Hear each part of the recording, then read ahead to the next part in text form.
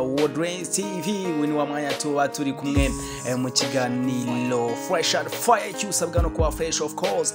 Then nyuma ukaza kuba fire cause amakuru tuba tugenda tuguha ashyushye kandi ameze neza cyane. Icyo usabwa ni ukubanza gukora subscribe kugira ngo tujye tubana umunsi ku munsi ah, wibuke gukora share ndetse na comment kugira ngo ah, uduhe ibitekerezo byawe bigiye bitandukanye.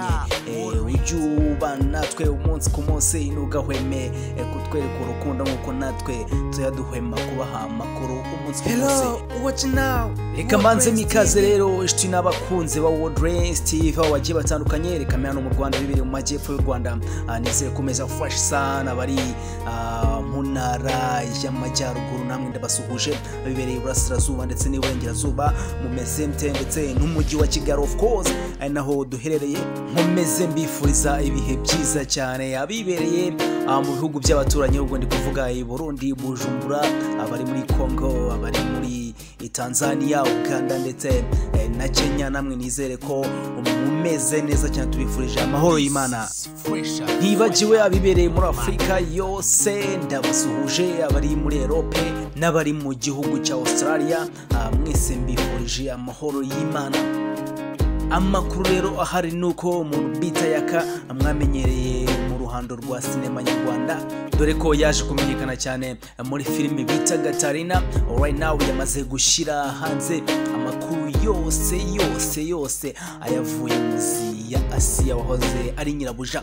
Ubwo rero asiya yigeze kuba nyirabuja wa yaka igihe hano kitari kirekire cyane ubwo bakinanaga muri filimi Gatarina ah, ikaba ari filimi rero yanafashije uyu musore yakakumenyekana ariko nyuma bakaza kugenda bananiranwa kubera ah, imyitwarire itari myiza. Cobracing now check the best one maka ah, Dami Emmanuel of course tugomba kubana kugera ah, isaha yose tuba dufite amakuru tuba tugomba kuyakugezaho umunsi ku munsi isaha ku yindi. Icyo usabwa ni ukubana natwe rero ah, ntugahweme kubana natwe of course yakamwana rero umuhungu w'abanyarwanda yakamwana yaje gutangaza ibyo asi yahora abeshya ko ngo yaba yaraguze inzu ya etaje yakamwana ubwo yabivugaga n'agahinda kenshi cyane cyangwa se n'umujinya mwinshi cyane ndetse eh, no kurakara kwinshi cyane bitewe na bifu yakunze kugirana ah, n'uyu mukobwa asiya ah, yanyomoje ikinyoma cy'uko avuga ko ngo yaba yaraguze etaje. Ibi yabivuze ubwo yari mu kiganiro na kimwe mu binyamakuru bikorera online ubwo bari bamutumiye bari kumubaza byinshi ku bijyanye n'iby'uko nyirabuja asigaye yarakize eh, kandi bivugwa ko atagikorana nawe. Bamubaza niba ashobora kuba yakwicuza. impamvu yaba aratandukanye na siya kandi ari bwo siya atangiye kwerekana amafaranga menshi cyane. Yakamwana nakuzuyaza yahise avuga imva n'imvano y'aho asiya yakuye amafaranga yo kujya yo kujya kuba muri etaje eh, dore ko asiya yakomeje abeshya ko iriya etaje ari iye kandi ngo oh, byohe byo kajya akaba nta etaje yigeze agura mu buzima bwe. Mu gushyira ukuri hanze rero yakamwana yavuze ko ah, iriya etaje asiya abamo ari amafaranga yahawe eh, n'umugabo bari gukundana mw'ino minsi akaba ari amafaranga rero yahawe n'umugabo bari kugirana urukundo mw'ino minsi. Uwo mugabo akaba atarigeze atangazwa izina ariko uwo mugabo akaba atuye mu gihugu cya nigeria. Right now this are fresh and fire of course. N'ahandi ukunda gukura amakuru rero ah, n'ahandi ugomba gukura amakuru usibye hano kuri world tv ikiganiro fresh and fire kiba kiguha amakuru agiye atandukanye. Sport ndetse na entertainment yose agiye atandukanye agiye avugwa hirya no hino ku isi tugikomeza na showbiz nuko yakamwana nyine. Eh, yavuze ko asiya yaje guhabwa amafaranga n'umugabo w'umunyanigeria angana miliyoni makumyabiri. Eh, bityo umwanya mafaranga yamubwiye ko agomba kuba rwose yabasha kuyaturamo neza kandi akaba ahantu heza kugira ngo uwo mugabo we nazajya aza kumusura ajye amusanga ahantu hasukuye kandi hameze neza. Ni mu gihe rero kitari kinini ubwo asiya yakoraga ikiganiro n'umwe mu banyamakuru bakora online yaje gutangaza avuga ko ngo yaba yaraguze etaje y'akayabo ka miliyoni magana abiri eh, ariko nyine abivuga ah, mu by'ukuri adasobanura neza ashobora kuba yarakwiye amafaranga cyangwa se yabivuga ubona ko nta confidence yifitiye kuko yari azi ko iyi etaje mu by'ukuri atariyo yaguze ahubwo ari yacumbitsemo cyangwa se ari yakodeshamo yakamwara nyuma yo kuza gushyira ukuri hanze rero ah, byaje gutera impagarara cyangwa se byaje gutera ah, umubano utari mwiza ah, byaje gutera kureba nayingwe hagati ye n'uwahoze ari nyirabuja asiya ah, dore ko ngo yamumeneye ibanga ariko mu by'ukuri amakuru ahari ni uko asiya ah, nta nzu yigeze agura cyangwa se na etaje yigeze agura. Abantu benshi baba batangiye kwibaza bati ni gute asiya ashobora kuba yagura etaje ya miliyoni magana abiri zirenga magana abiri ah, ayakuye ah, akorera muri filime gusa. Ni gute yagura etaje y'akayabo kangana gutyo? Ayakuye mu gukina amafilime gusa. Mu by'ukuri nta nubwo abantu bariyumvisha ko umwuga wa sinema nyarwanda ushobora kuba waje amafaranga menshi cyane ku buryo umuntu ashobora kuba yakwigurira inzu nk'iyo ngiyo. Ari na yo mpamvu abantu bakomeje kugenda babitindaho cyane. Abenshi banabikomentaho cyane babitekerezaho cyane.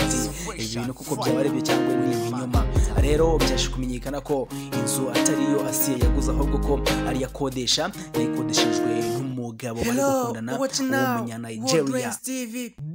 aho hari muri showbiz rero mu gace ka sinema reka tubabwire mu bijyanye na politike. Muri politike nuko muri leta zunze ubumwe za amerika uwo bita joe biden. Joe biden joe biden yamaze kurahirira ah, kuyobora igihugu cya leta zunze ubumwe za amerika ah, akaba ari perezida wa mirongo ine na gatandatu warahiriye kuyobora usa ku itariki makumyabiri hari saa sita ah, za leta zunze ubumwe za amerika ubwo hari ku isaha saa moya z'u rwanda ni bwo perezida joe biden yamanitse ukuboko ku idarapo rya ah, usa rigizwe n'inyenyeri mirongo itanu bisobanura ko usa igizwe na leta mirongo itanu avuga ko agiye kuba umuyobozi. W'icyitegererezo wa leta zunze ubumwe za amerika. Mu byo yabashije kurahirira kandi yishyuye abaturage yavuze ko agiye guhindura impinduramatwara cyane cyangwa se agiye guhindura ah, ubuyobozi bwa leta zunze ubumwe za amerika. Ubwo hari amasezerano menshi cyane agiye kuzasinyura. Yari yarasinye eh, na perezida donald trump ari we yasimbuye of course. Hey rero nuko icyamaze gutangazwa nuko muri mwe agiye gusinyura nuko ah, agiye gusinyura itegeko ryari impunzi cyangwa se abimukira bava mu bindi bihugu baza muri leta zunze za amerika mu buryo ubu n'ubu cyangwa se mu buryo uh, bugiye butandukanye. Ariko joe biden yavuze ko igihugu igihugu cye kigomba kuba nyabagendwa usa igomba kuba nyabagendwa igomba kugendwa n'amahanga kandi igomba guha uburenganzira ikiremwamuntu nk'uko uh, babyemeje kuri intangarugero nk'igihugu. Cya mbere kireberera uburenganzira bwa muntu ku isi hose. Joe biden ikindi kintu yarahiriye ni uko uh, agiye kuzasinyura itegeko ryakumiraga abayisilamu cyangwa se uh, umuryango w'abayisilamu ku isi hose kuza muri leta zunze ubumwe za amerika dore ko ibi na byo uh, donald trump yari yarabikumiriye ubwo nta isilamu cyangwa se nawe ukomoka mu idini ya isilamu wazaga muri iki gihugu cya leta zunze ubumwe za amerika.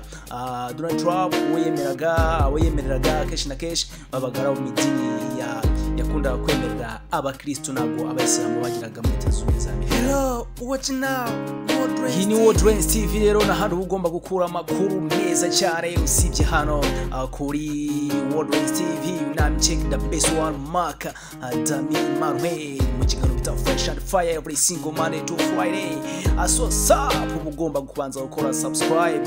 Tukabana isa ku yindi umunota ku wundi Club Racing nami check the best one uh, Mark Dami Manuel reka twongere ubutaha cyangwa se twongere mu bindi biganiro bigiye bitandukanye. Ariko bya World Dance TV ariko iki twarimo cyitwa Fresh and Fire ugomba kubanza kuba fresh. Then nyuma ukaza kuba fire because ibyo tuba tugenda tukubwira tuba tukubereye.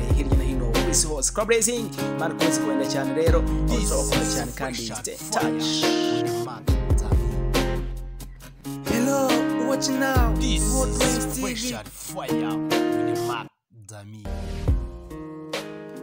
Hello, watch now. This World Race is Fresh TV. and Fire